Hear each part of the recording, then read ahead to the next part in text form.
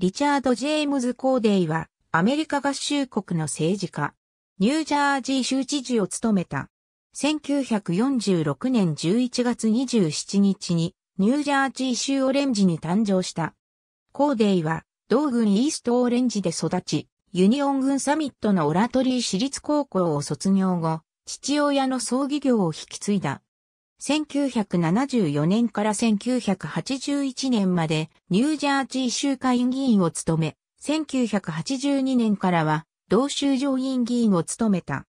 2002年1月には上院議長としてニュージャージー州知事代行を3日半にわたって務め、また2004年11月15日からも、リチャード・マクグリーベイ州知事の辞任により、州知事代行を務めた。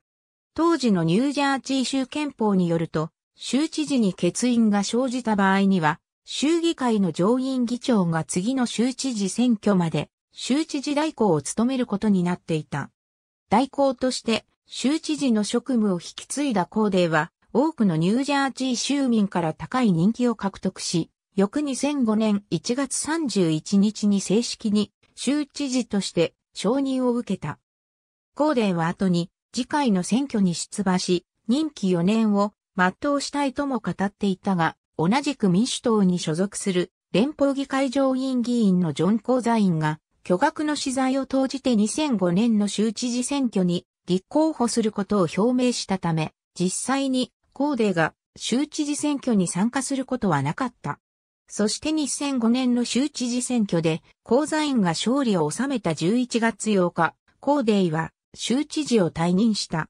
コーデイは、コーザインの代わりとなる連邦議会の上院議員の候補の一人に挙げられたが、同年11月23日に上院議員選挙には出馬しないと表明した。また、ニュージャージー州では2005年11月8日に憲法が改正され、新たに副知事の職が創設された。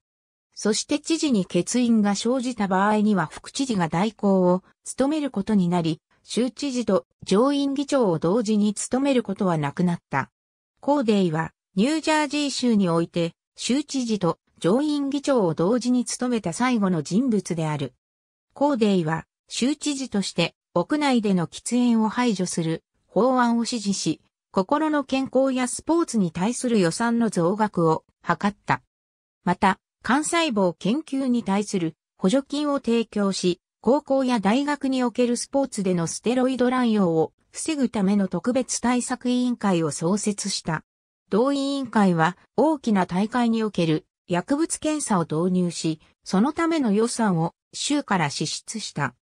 さらにコーデイは NFL のニューヨークジャイアンツとニューヨークジェッツが共同で新たなスタジアムを設立するための便宜を図った。ありがとうございます。